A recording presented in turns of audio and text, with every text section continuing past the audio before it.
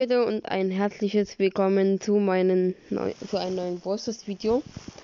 Heute werde ich auf einen Brawl Talk reagieren, den jemand erstellt hat und werde euch dann erzählen, was alles passiert ist.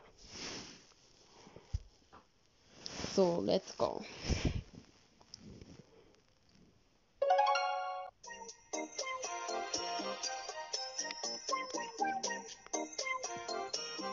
Neues Design, Titel, Boy TV 2.0 und mehr.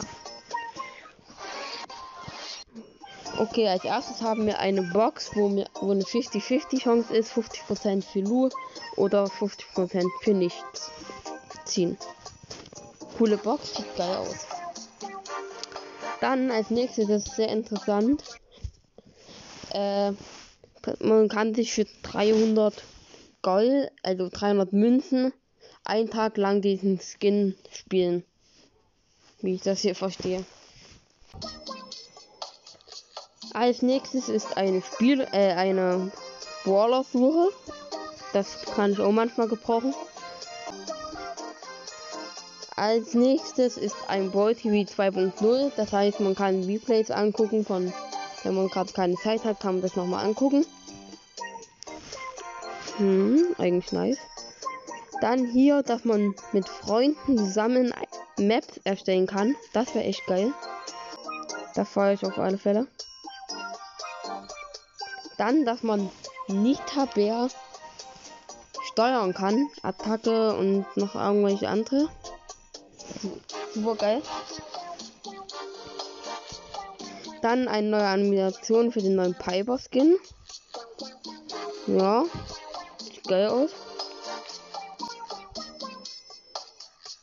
Dann, dass man den alten Chassis Skin gratis be bekommt. Dann wenn dem Skin, ja, dass man wenn dem Skin tippen kann und dann mit irgendeinem Skin von Spike zum Beispiel in Runde geht. Finde ich auch geil. Dann hier sehr interessant, das wurde schon mehrmals angesprochen von YouTubern und so, äh, dass man abstimmen kann, welche Map als nächstes kommt. Hm.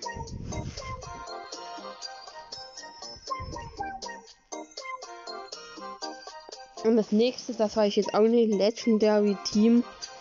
Da weiß ich auch nicht, was sie damit meinen. Ja. Und das war's schon mit dem Brawl Talk.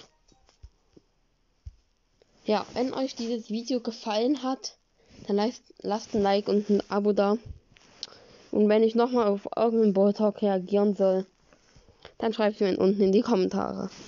Und dann ciao, ciao.